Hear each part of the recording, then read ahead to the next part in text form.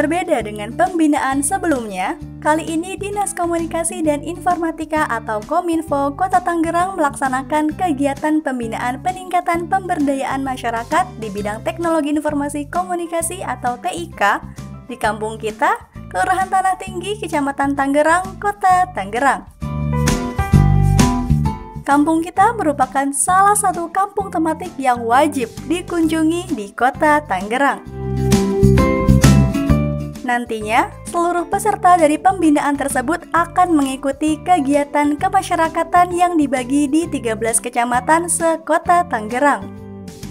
Uh, sebenarnya uh, hari ini kita ada beberapa agenda, tapi memang untuk itu kita utamakan dulu terkait dengan pembinaan uh, dan pengembangan uh, kelompok informasi masyarakat. Uh, peserta ini uh, untuk binusnya sendiri, mahasiswa binus ada 39, 39 uh, mahasiswa ya.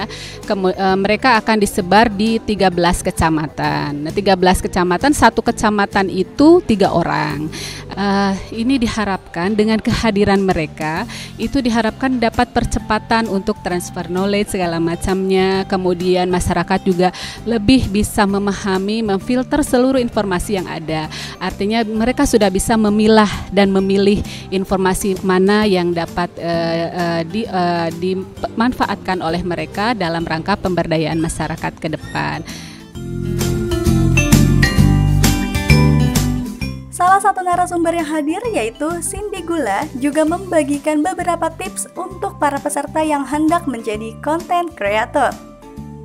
Uh, menurut aku sih cara memanfaatkan teknologi itu ya dengan kita menggunakannya dengan baik dan kita juga menggunakan segalanya untuk memberikan informasi yang berguna dan positif. Jadi uh, ini nanti ada juga di presentasi aku. Langkah pertama untuk menjadi youtuber atau bisa dibilang juga konten kreator itu pertama harus cari jati diri, be you gitu. Jadi harus cari jati diri kita apa, terus konsisten karena biasanya youtuber baru tuh kan kemudian hari ini buat besok nggak buat itu harus banget konsisten karena dengan kita konsisten nanti para viewer kita juga jadi lebih tahu ini kita uploadnya kapan aja terus tungguin kita